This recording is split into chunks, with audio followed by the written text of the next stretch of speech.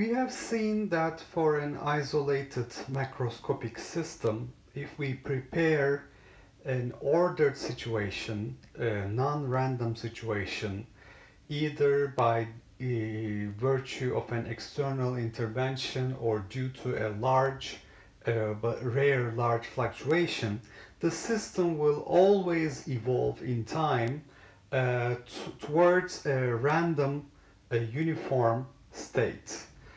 So um, there is a preferred direction uh, in time. So we have for an isolated macroscopic system, the preferred direction in time is from ordered uh, non-random uh, state to towards disordered random uniform state. So we have seen this in the case of uh, having an imaginary partition inside a box and the gas molecules when they are all trapped on the left hand side as soon as uh, we release the system we find that the gas molecules will move in such a way that will randomize uh, the the distribution of gas molecules and we will have the most random state at equilibrium. So this is the uh, preference in time. Preferred direction in the time in the evolution of the system. Uh, however, if I consider a situation when the isolated macroscopic system is at equilibrium to start with, okay, so if the system is undisturbed for a long time, that means, in other words, uh, at equilibrium, then we don't have any preference uh, in time. So we have uh, no preferred direction in time. What we will see is the system will keep its equilibrium conditions except for small fluctuations. And we have seen large fluctuations are uh, very rare. Now, if we have a process for the system, uh, under what conditions is this process going to be considered a reversible process or an irreversible process? So let's think about this. Um, a process that the system is carried through is said to be irreversible.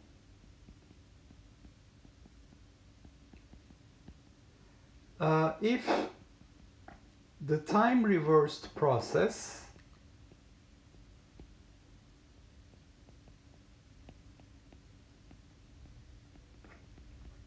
would almost never occur. So this is the definition of irreversibility. Now, I want to look at the case of having a single particle inside a container. And here is my imaginary partition right in the middle. There is the left hand side and there is the right hand side. And this single particle can be on the left hand side or on the right hand side. The probability of having the particle on the left hand side is one half because there are two possible configurations and uh, the probability of having it on the right hand side is one half. So since I have equal probabilities for the two configurations, the relative frequency of these events are the same, Therefore, there will be no preference in the time evolution of the system. The system is equally likely to be found to have the single particle on the left hand side or the right hand side. Alright, so this configuration will give me no preference. Okay, now I want to increase the number of uh, particles to 4. And let's say that initially I have all 4 particles on the left hand side and then in the most uniform or random configuration I will have 2 particles on the left hand side and 2 particles on the right hand side. So remember the probability of this configuration we have worked out before. All particles are on the left. First, second, third and fourth particles are on the left. What was the probability? It is 1 over 16. Now for the configuration where I have a probability of having two particles on the left or having equally eh, we can say two particles on the right so probability for four particles n is equal to 2 n prime is equal to 2 what is this probability? This we have worked out. The number of configurations is 6 so it's 6 divided by 16 let me remind you what those configurations were. I can have left left right right, left, right, left, right, right, left, left, right. Then I can have right, left, right, left. Um, then I can have right, right, left, left. Um, there should be one more, so let's think about the other probability. Oh, yes, I'm missing one more here. It is left, uh, right, right, left. Okay, so one, two, three, four, five, six configurations that give me this scenario of having two particles on the left, two particles on the right. The highest number of configurations that correspond to uh, most uniform or random or disordered state is this one where I have two molecules on the left and two molecules on the right. So if I leave the system undisturbed for a long time, the probability of the system going back to its initial state is 1 over 16. So remember in the case of one particle there was no preference. They were equally uh, likely to be, the particle is equally likely to be on the left or on the right. So this is a reversible process. But on the other hand, in the case of four particles, going back from the most uniform state towards a, an ordered state, the non-uniform state, is somewhat unlikely. So this I can say is somewhat irreversible. Now when is it almost completely irreversible? Uh, I can consider another case if and the number of particles is comparable to Avogadro's number, then the system will become uh, almost impossible to revert to its most ordered state.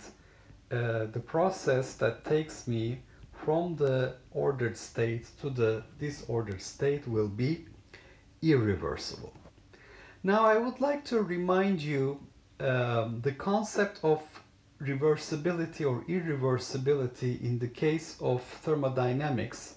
So here is uh, what you will recall as the Carnot cycle. The Carnot cycle we will talk about in more detail later on in this course, uh, basically consists of two isothermal and two adiabatic processes uh, where we have heat exchange with uh, two reservoirs at different temperatures, uh, T and T prime.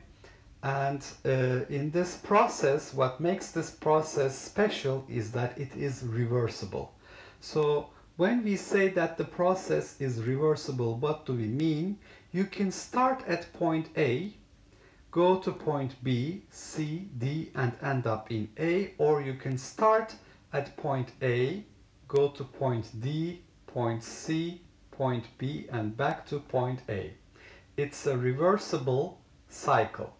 So that means uh, what, uh, what we have in mind for an irreversible process in thermodynamics is that the process cannot be reversed back to its initial state going through exactly the same path. Okay, so you might say, uh, well, I was able to uh, go from a uniform state, for example, in the case of movable piston here, to a very ordered state by pushing this piston. So by external intervention, I can take it uh, back to its ordered state and then I wait for a long time, the molecules diffuse and I have the most uh, uniform or random state uh, and then I can do the same thing again and I can reverse this process. So does that make this process reversible?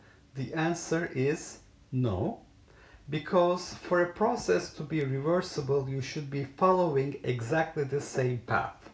So uh, doing this external intervention to go back to its initial state is uh, basically not making the process of the molecules diffusing to fill the full volume reversible. Okay, so um, in strict terms, for a process to be reversible, um, the initial state, initial macro state,